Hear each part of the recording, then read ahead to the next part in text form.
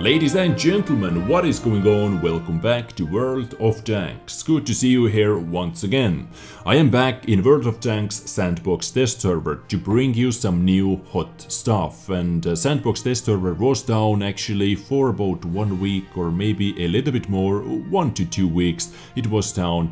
And uh, Wargaming did some changes to tier 10 light tanks. Uh, I believe we can say that they rebalanced those vehicles a little bit. And in episode I am going to focus at Tier 10 T100LT, which is Tier 10 light tank from Soviet Russia, because when I first introduced all those Tier 10 light tanks to you, my first episode was about this tank as well, so I believe let's continue the trend. Uh, but uh, just to give you a little sneak peek into the future, they changed XM551 Sheridan's model they even changed the model and not just by a little bit because you can see we have a lot more equipment on this beast. It didn't have anything over here. So what this means to the Sheridan now is, uh, despite having no armor whatsoever, where are you? Hull armor 14, 31 and 12, you have a lot more other equipment that can help you uh, to protect yourself getting penetrated by heat shells. I believe this grill over here protects you from uh, heat shells. And uh, this spaced armor plate once again, I am not 100% sure that this is actually spaced armor, but uh, this is at least how it felt when I first tested this tank out uh, in the previous sandbox test server. And this spaced armor protects you from HE shells. So no armor whatsoever, but you have a lot more other equipment that you can rely on actually. So really interesting changes over here and uh, some other changes to the rest of the light tanks as well. But as I said, in today's episode, in this episode, I am going to focus on this tank, T100LT. And uh, let's see what they did to this vehicle. And uh, let's start with firepower, because they actually nerfed DPM a little bit. Uh, so new rate of fire is 7.14 rounds per minute. It used to be 7.84 rounds per minute. I mean raw gun stats. At the moment we are looking at raw gun stats without boosting it with uh, crew members or equipment or so on, so on. Uh, average penetration and average damage, everything is the same over here. 230 penetration, 248 with uh, premium rounds and 320 average damage. Now DPM 2286 damage per minute. It used to be 2510. So with your equipment you were able to boost your DPM over 3000. But At the moment, uh, and by the way accuracy and aiming time is the same, 0.44 accuracy and 2 second aiming time. Uh, so uh, with uh, the old version of T100LT you were able to boost your DPM over 3000 but at the moment I am able to get my reload time down to 7.09 seconds, 8.47 rounds per minute, uh, 1.83 uh, aiming time and 0.4 accuracy, 2709 average damage per minute. Now sadly, in my opinion at least, everything under survivability is the same. Hit points, 1500 hit points, this is okay, but what I was not happy with was that hull armor, frontal hull armor, 120 millimeters thick, with amazing slope. You are able to bounce tier 10 medium tanks like Batchat or TVP or something like that, and uh, let's not even talk about tier 8 or tier 9 guns and tanks uh, 120 millimeters is a little bit too much in my opinion and especially if I am going to compare this hull armor to all the rest of the light tanks. Nothing comes even close to this hull armor. And turret as well, frontally 180 millimeters thick. Uh, so hopefully, I am still hopeful that they are going to do something like nerf it down to 100 millimeters or something. Something like that, I don't know maybe. Uh, but uh, let's move on. Mobility. Now mobility got hit pretty hard as well. Uh, weight is the same from 15 ton to 15.3 tons heavy tank, but I believe equipment is also uh, working over here. So let's say weight is the same, but engine power 720 horsepower engine from 850 and uh, specific power got also hit pretty hard 47.06 the top speed is the same 72 kph reverse speed 25 and uh, vehicle traverse speed stock or base vehicle uh, traverse speed is 56 degrees per second. So mobility you are not going to be that crazy nimble anymore. Previous uh, specific power was over 55 but now 47.6 is actually quite understandable, in my opinion. Now, concealment camo, as it is light tank, it has really good base camo anyways, but I decided to boost it a little bit uh, with uh, full camo crew. I have uh, three crew members with 100% uh, camo skills, and uh, I believe ventilation is also boosting that because it gives plus 5% uh, to all crew skills. Is it working like that, guys? I think it does work like that. So uh, my camo or concealment factor is actually pretty crazy 40.39% and this tank actually has the best uh, pace camo among all the rest of the tier 10 light tanks. And actually let's see how good this is with camouflage net. Let's see. Purchase 50.39 while stationary while camo is active so yes, I, I just spent 10 really precious gold to test that out, but I will. Okay, and uh, let's put coated optics back on. And uh, finally, let's talk about spotting. And uh, T100LT got hit with minus 10 meter view range nerf. Uh, so now it has 410 meters uh, stock view range. It used to have 420, blaze it. But with my equipment and loadout, as always, it is almost 500 meters. And I believe I can actually play this tank with vertical stabs as well. And nothing is wrong, because you know our maps in World of Tanks are fairly small and 450 meter view range uh, works quite good. Uh, more view range simply gives you better chance spotting tanks that have really good camo factor.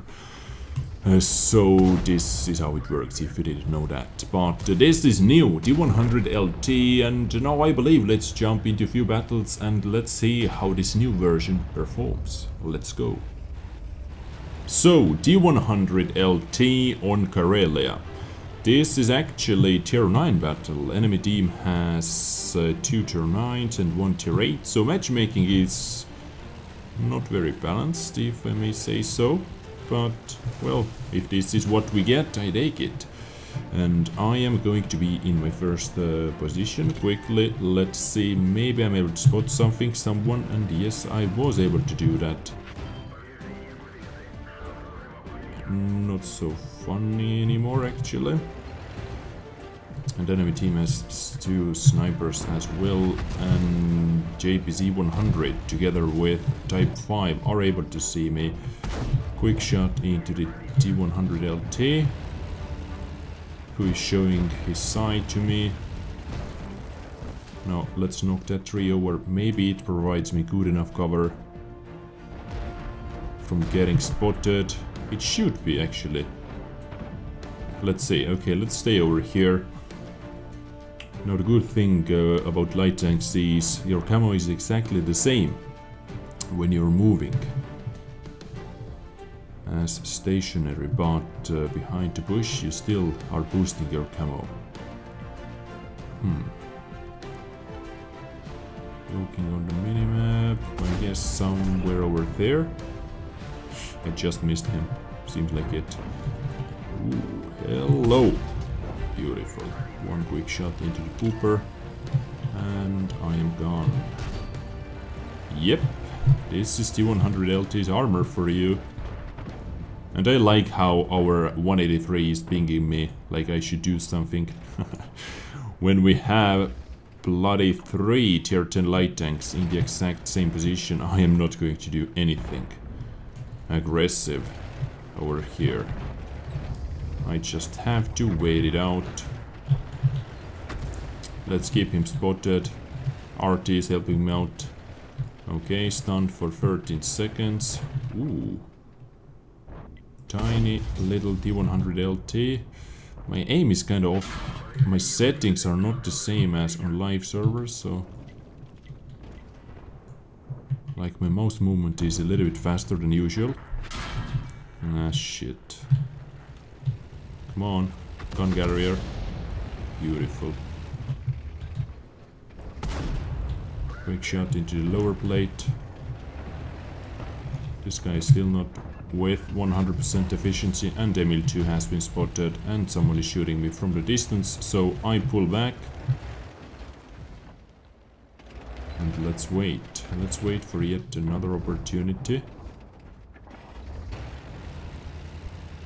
Okay this guy is keeping himself spotted pretty much. One more art splash needed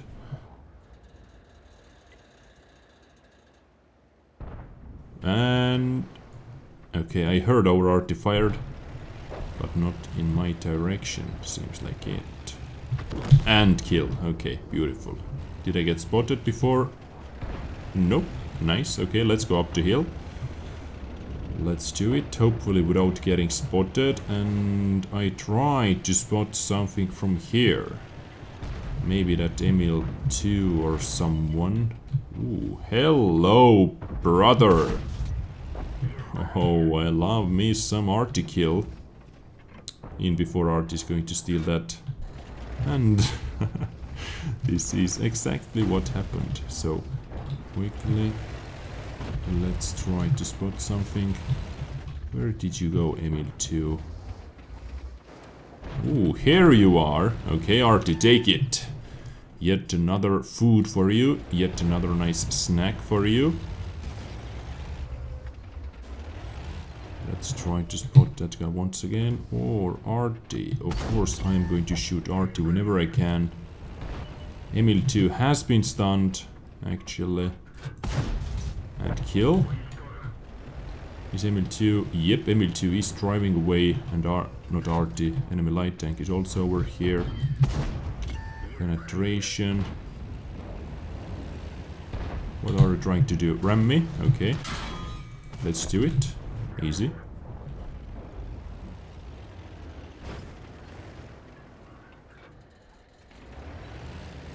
Actually, I'm going to trick that Emil a little bit.